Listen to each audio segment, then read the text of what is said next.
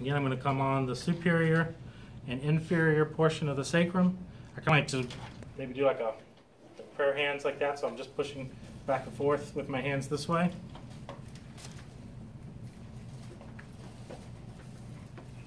Feeling that rock. And then the